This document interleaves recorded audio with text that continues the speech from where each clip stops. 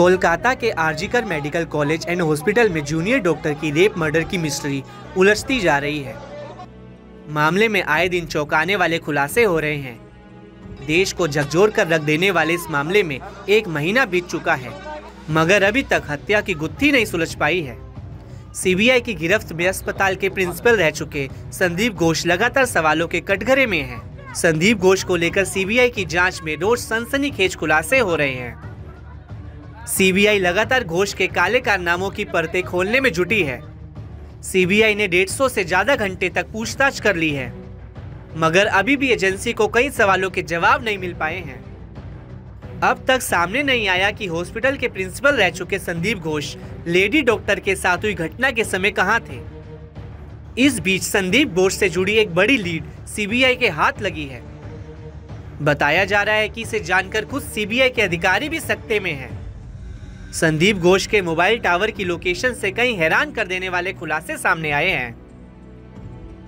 दावा है कि संदीप घोष का mobile tower location Baruipur station से सटे इलाकों में पाया गया है। खास बात है कि एक बार नहीं, बल्कि कई बार संदीप घोष इस इलाके में मौजूद रहे हैं। संदीप घोष की घटना वाले दिनों से पहले के दिनों की जाँच में भी उनके टावर की लोकेशन बार बार बरईपुर स्टेशन के आसपास आई। संदीप घोष को लेकर ऐसा दावा किया जा रहा है कि वह यहाँ पर एक प्राइवेट प्रैक्टिस करते थे। सरकारी अस्पताल में डॉक्टर और प्रिंसिपल पद पर रहने के बावजूद वे अपना प्राइवेट क्लिनिक चला रहे थे। बताया गया कि सीबीआई अधिकारियों ने संदीप घोष के कथित प्राइवेट क्लिनिक की भी तलाशी की, जहाँ से टीम को कई दस्तावेज़ बरामद हुए हैं। ऐसे में सीबीआई ने नमिता सेबायतन की खाक छाननी शुरू कर दी है। ये कोलकाता के बरईपुर का एक चिल्ड्रन पॉली क्लिनिक है इसकी गिनती टॉप रेटेड हॉस्पिटल में होती है। सीबीआई अब संदीप घोष के चिल्ड्रन पॉलीक्लिनिक की भूमिका पर भी सवाल उठा रही है। ऐसे में देखना काफ़ी अहम रहेगा कि सीबीआई की जाँच में संदीप घोष को लेकर और क्या क्या खुलासे होते हैं।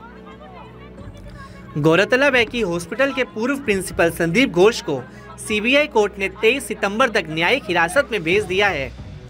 उनके खिलाफ भ्रष्टाचार के मामले में सीबीआई जाँच चल रही है। बता दें कि संदीप घोष के खिलाफ सीबीआई दो केसों की जाँच कर रही है।